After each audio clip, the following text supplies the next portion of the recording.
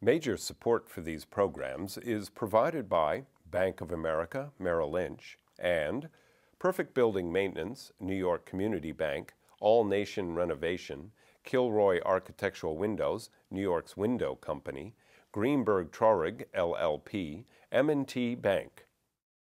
Additional support is provided by AVR Realty Company, LLC, Ackman Ziff Real Estate Group, LLC, Bingham McCutchen, LLP, Briarwood Organization, Capital One Bank, C.B. Richard Ellis, James Orphanides, Centurion Holdings, Cushman and Wakefield, Dimes Savings Bank of Williamsburg, Douglaston Development, DDG Partners, Eastern Consolidated, Hal Fetner, Durst Fetner Residential, Friedman LLP, Accountants and Advisors, Gemini Real Estate Advisors LLC, Genova Burns and Gian Tomasi, Grubb and Ellis, Investors Savings Bank, Jack Jaffa and Associates Real Estate Consultants, James D. Kuhn Real Estate Institute at Syracuse University, Madison Realty Capital, Massey Knakal Realty Services, Meridian Capital Group, Margolin Weiner and Evans LLP, Certified Public Accountants and Business Advisors, Newmark Knight Frank, RAL Development Services, The Spandrel Group LLC, Siami Development, SJP Properties, Site Comply, Sterling and Sterling, Stephen Napolitano, The Wickoff Group, Urban American.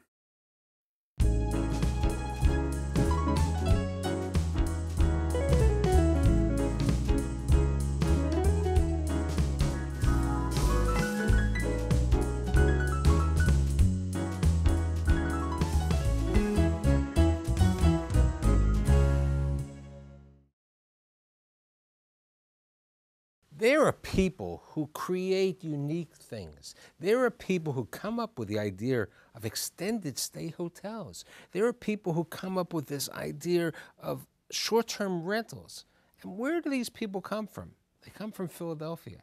And today, I'm fortunate to have the chairman and CEO of Korman Communities, AKA Hotels, AVA Communities, my good friend Steven Korman. Thank you very much, Michael.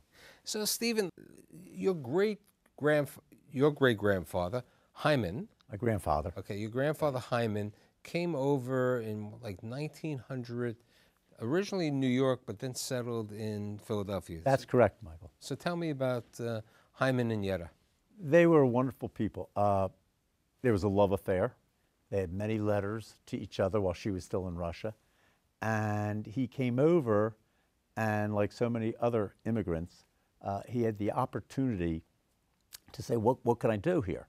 And he became a dress designer he, for women's clothing. He, he cut patterns. And his wife, when she came over, they saved money they lived in a farm in northeast Philadelphia. So how did they end up into a farm? I mean, here's a man who's really cutting patterns and selling the patterns to people in New York and, and Philadelphia and other places. How did he decide to become a farmer? I really don't know at that point exactly, but if I had a bet, I would say Yetta had a lot to do with it. Uh, I think that they wanted to live out in, the, on a farm. She was comfortable on a farm. Uh, they were raising three children, and she saved every penny he made and they bought ground.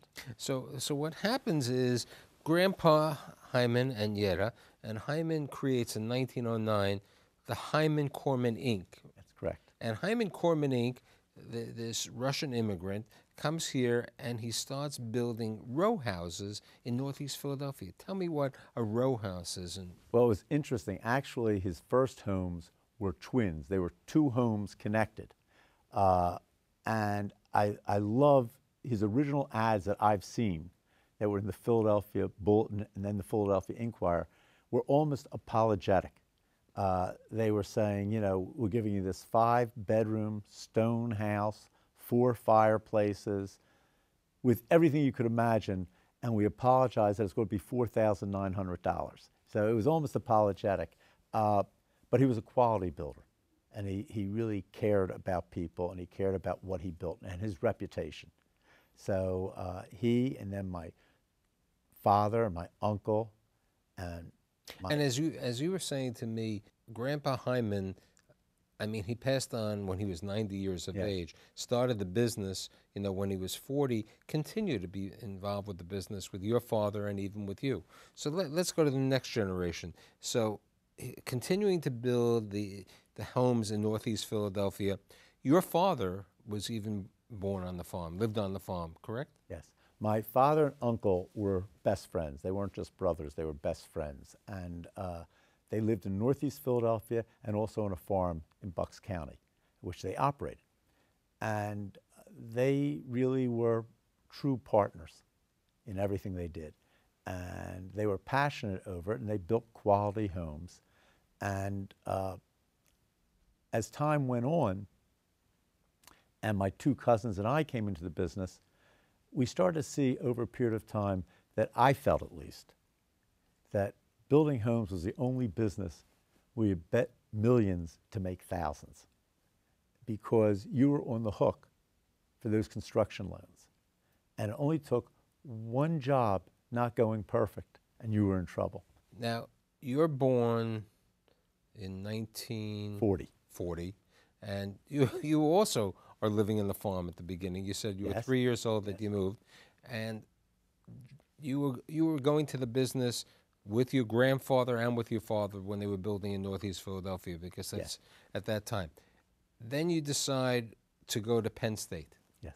How come you decided to go to Penn State? I, I was interested in getting uh, my real estate and insurance license, and uh, fortunately, two of my professors were the people that actually gave you your licenses. So when you graduated, you actually had your broker's license for both insurance, and I started Northwestern Mutual Life Insurance. Right. That and as you said in, to me, and it was in one of these articles, it said you were trying to Northwestern, which is, in my opinion, the most finest organization around. It's a great insurance company. I've had them on my show because uh, you know it's the quiet company, as Yes. they say, and they're a great product. And you said, hey, it's going to be difficult for me to sell life insurance to an 18-year-old. Yes, that was difficult. It was a great lesson in life. Uh, you learn how to take a certain amount of rejection, you learn how to turn it around, you learn how to find the positives, and it was a great experience for me. And it was a great experience because it also took you into the business, but later in life, as opposed to starting going to work Yes. for the Korman business at that time.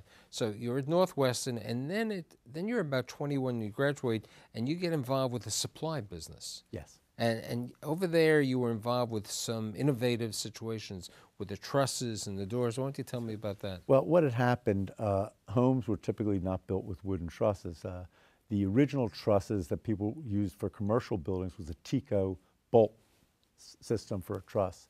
We came up with Sanford and created a truss that was just pressed together and it was very strong. To get the approvals, I had to go to all the different townships and municipalities to get them approved. Today, I'd say almost 100% of homes are built with wooden trusses. And then you also- there was we created pre-hung doors. factory. We created the factory that did that. We also did pre-hung doors. We had a day shift, a night shift. Uh, it was very exciting, and that, that really changed a lot of things. The other thing we try to do is always be a little different. Uh, drywall was always carried up by two people, second, third, fourth floor of a home. Uh, we put a boom on the end of our truck, and we were able to put things right into the second and third floor of the boom, and we got all the drywall business. So it was an exciting thing to do things differently. And then it's about 48 years ago.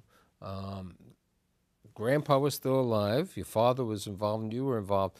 Y- your father builds this building uh, in Philadelphia. Let's talk about that building, the Plaza. Yes. The, the plaza uh, was a round marble building. It was a very small piece of property, very, very small. And Oscar Stonorov uh, was really one of the top architects. And the only thing he felt would fit on this ground, it was right on the parkway. The only thing that would fit on that ground was a round building. And it was a round marble building, 300 apartments. The problem with a round marble building, a round building, is you get pie-shaped apartments that were very difficult for people to see how they could decorate them. And I'd always felt, not wanting to be what I call me too, but wanted to be different. I always felt that there was hotel rooms for a day or two days or three days, and there was apartments for a year. There was nothing in between. Someone's being divorced, or someone's fixing up a home, or someone's Or being corporate transferred relocation, correct. There was nowhere to go. So I felt I could kill two birds with one stone. One is I could show people how it could be decorated by decorating the apartment for them. So we decorated the apartment. It became a huge success. And we ended up with 300 extended stay apartments. which was truly the beginning of extended stay because one. at that time no one really knew what the What extended stay people you know they'd rent a hotel room or they'd rent an apartment that wasn't the extended stay and you also took another eh, eh, maneuver in the situation that you furnished these places That's correct. They furnished them, and we also gave services. Uh, right you had the bentley concierge. we had the so- Bentley con- concierge. Uh, we had the continental breakfast. We had housekeeping. So really, they were very, very comfortable. And yet, they had something that was bigger than a hotel room. It was a full apartment, and at the same time, they had some of the services that they would want. It became a huge success, and all of a sudden, we took it to our other 19 communities. the 19 communities were these were in pennsylvania and new york and In New Jersey. new jersey they were in Yes, new york they were they were Montgomery County, Bucks County, Center City, Philadelphia. Uh, they were in South Jersey, and they were huge successes. Now, in these communities, which now are called AVE, Right. basically the community offered certain apartments which were furnished and certain apartments which were unfurnished. And apartments somebody could rent for a month or they can rent for uh, month to month and also for a year. That's correct, Michael. What we did is we had 100 to 150 of the apartments fully furnished. You got all the services you could imagine. You got the breakfast, everything. And the other 150 units were unfurnished. And they were yearly. And a lot of times people would come and they'd rent for a month or two and say, I liked it so much, I'm going to move over to these because it was much more expensive. They were paying about 2.3 times the amount for the furnished apartment as the unfurnished. And it was basically because it was a short term lease. They were able to, after a month, walk. So if you're separated from someone or you're being transferred, you don't know how long you're going to be here. So this gave them a huge edge. And this also, as you, we were talking, is that this is a way that you were able to build up through your your sales force this large database of corporations who would be looking. Right. We had roughly 8,000 corporations we were dealing with. And it was one of the reasons that it was difficult for competition to come in because if you didn't have that many companies, when you call on General Electric, they're not in the apartment business. You can call them 10 times and they don't have a need. The 11th time, they have two people moving in and they have a need. Well, you better have a lot of General Electrics because when 50 people move out, you have to have 50 people to move in. And we always did because we had roughly 100 people that were outside calling. They were constantly calling on people. We had a tremendous outreach program. And we've been doing it, as I said, close to 48 years. Now, let's talking about Lord Forte Yes. on in the plaza. Tell me what you did with him. It was great. Uh, Lord, I heard Lord Forte was in New York, and I gave him a call and I told him we have something in Philadelphia I'd love him to see. It was our Plaza Apartments, that round marble building. I thought it'd be a gorgeous hotel. And he came in, and we walked up. He wanted to, he didn't want to take the elevator. He wanted to walk up the fire escape, 30 floors. And we walked, and he wanted to look at everything. And I knew when he left, when he told me to deal with his executive vice president, that he was interested. So you then changed from the extended stay to a, a regular. a hot- Palace Hotel. In fact, when you went to London Heathrow, right there was a huge picture of our part, our now hotel, Palace Hotel, and he brought the Cafe Royale from London there also. So it became really the hotel in Philadelphia. Now, when you were doing this, that you were also still continuing to build single-family homes, right? In, in different parts of Philadelphia. We built about 35,000 homes in the Philadelphia, New Jersey area.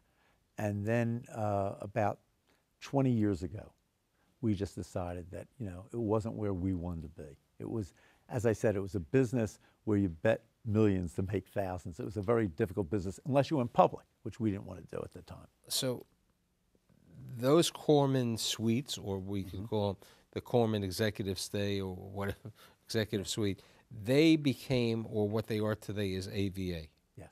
Now, later on in life, with your three sons, okay, uh, you, you subsequently create what I consider the finest, because I've seen it, the AKA. And the AKA stands for another. It, many things. Actually, uh, my oldest son Larry spent two years working very hard on what should the name be. And it goes into a lot of things. You want a short name. You'd like it to start with an A, just because it hits the alphabet much earlier. Uh, it tied into, it could be a Korman associ- apartment. It could be many things. It could be instead of. So there was so many different plays on it, but it also looked good graphically. The AKA. It would be no different than W with the hotels. So the AK looked very good graphically, worked for us, had a, a lot of reasons. We test marketed it. It test marketed very well. And as you said to me, if you're going to be in the luxury extended stay hotel, uh, you really have to be in New York and other cities like New York and London. So what happened? You came to New York City and you found this location near the UN. That's correct. We uh, saw something at the U, near the UN that we liked. We totally renovated it. Uh, it people love it. It's been a huge success. And since then, we're now at 58th and 5th, I mean, from the I- plaza. We're at Times Square. Uh, we're at Sutton Place, White Plains, a block from the White House, Rittenhouse Square in Philadelphia. We've tried to get the best locations, quality products, and great service. Now you said you're also looking for London. four years we've been looking in London. Not easy. it has been very difficult. Uh, the feeling with most of the people, sometimes been in their family for 600 years or something like this, and they don't sell fast. When I took the tour with you and Larry uh, a couple weeks ago, I saw the difference. I mean, it's not a hotel. There's, you know, there, there's a concierge who really sits there and takes the information as opposed to a front desk. There, there's a gym that that is totally like being in a Canyon Ranch uh, in the gym. Uh, there's a private bar or private restaurant later on for the guests. I mean, how do you decide on these different type of amenities?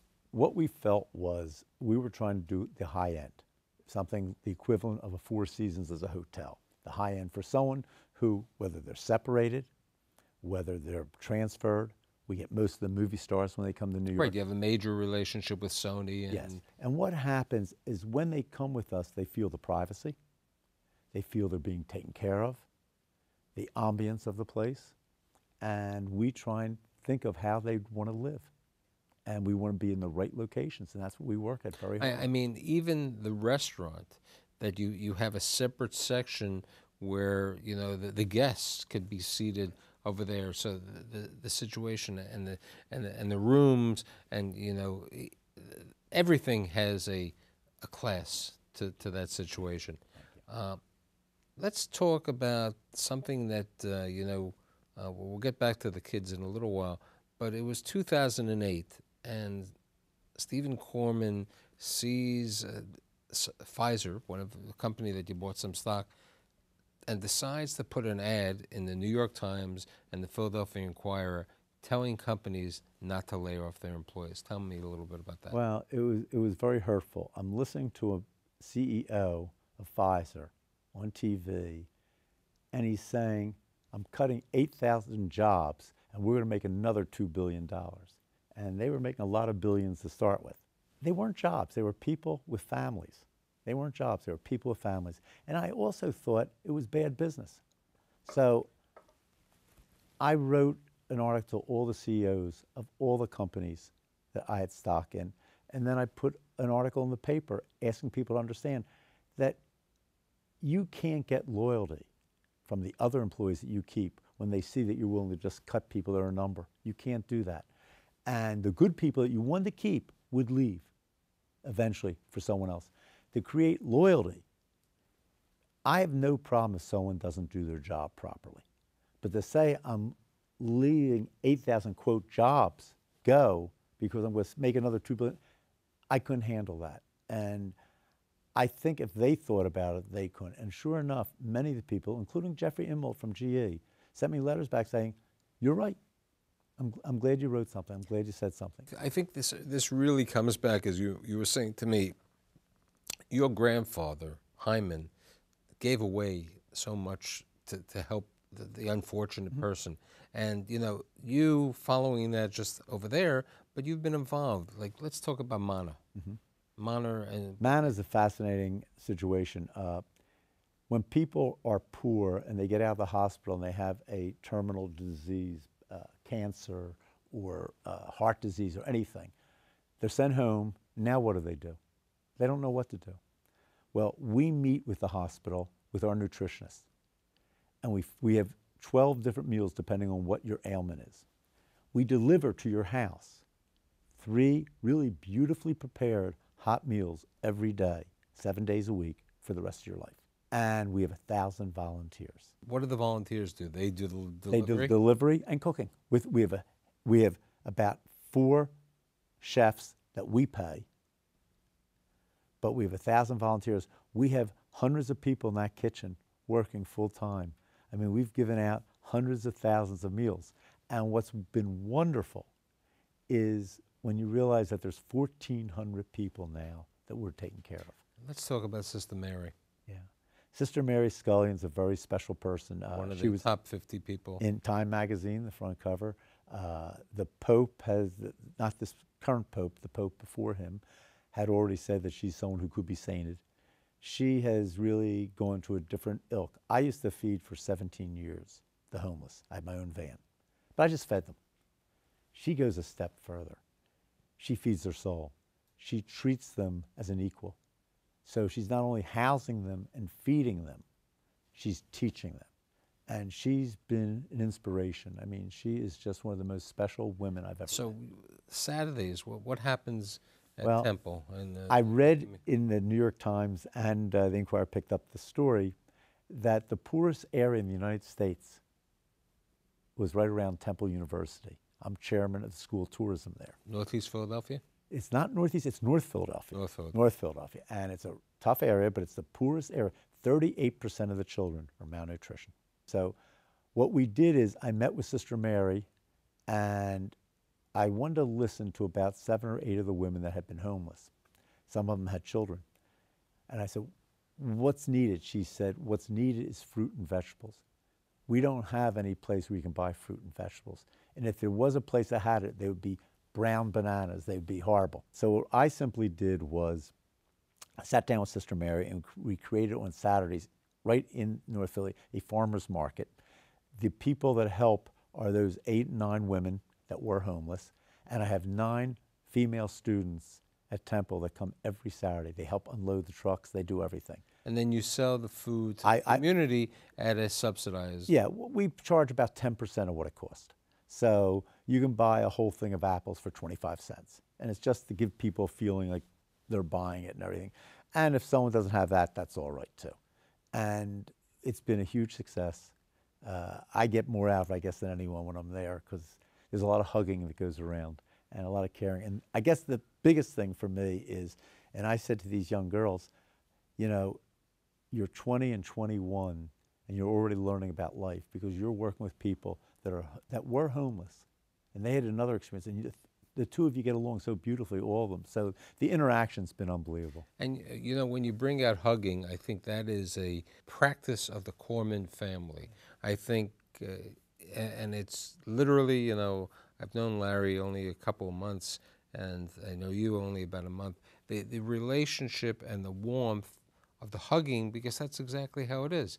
And you know, you have three sons. Tell me about the three sons, your daughter-in-laws, and the grandchildren. So you have Larry. and larry brad and mark Larry's the oldest. larry's the oldest then brad then mark The interesting thing is all three uh, all went to Duke, they all went to duke and you were the chairman of the library at Duke. yes And Bra- uh, and Larry and Brad are co-presidents of AKA yes Hotels. Larry's married to larry's married to corinne brad to pam and mark and, mark's married to kelly and mark's president of our commercial division right, which does other things Yes. besides the extended Shopping centers. the shopping centers and industrial Yes. properties, and um, grandchildren.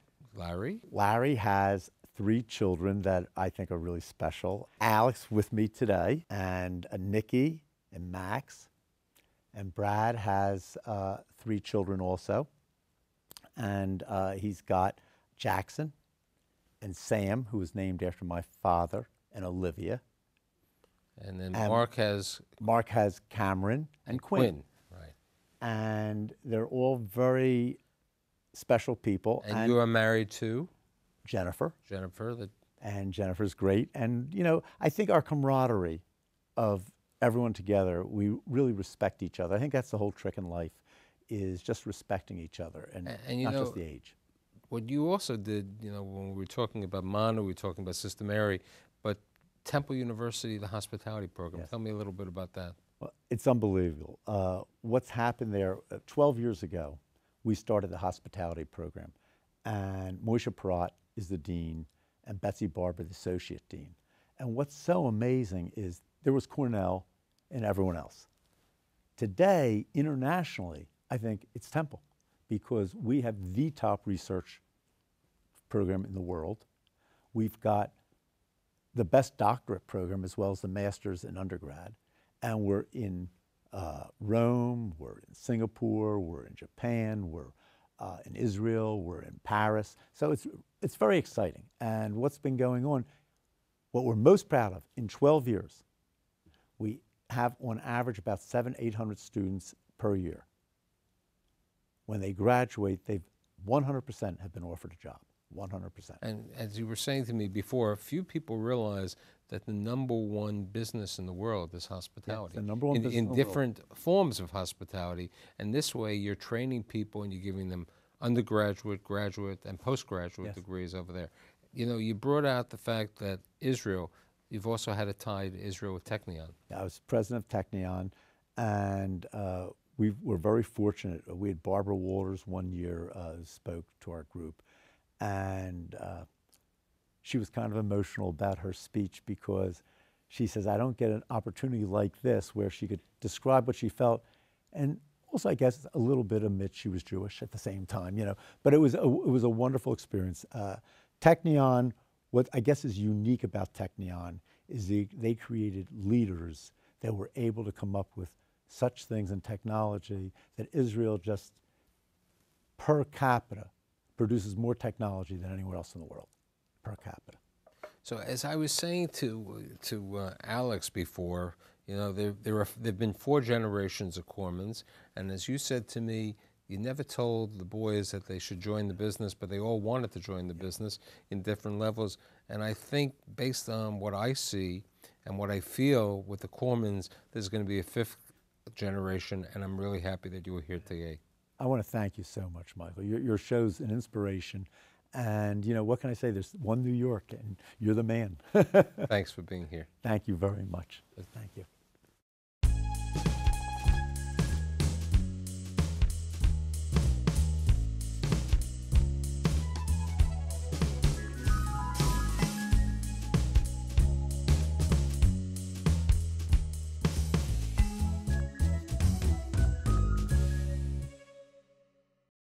Major support for these programs is provided by Bank of America, Merrill Lynch, and Perfect Building Maintenance, New York Community Bank, All Nation Renovation, Kilroy Architectural Windows, New York's Window Company, Greenberg Traurig, LLP, M&T Bank.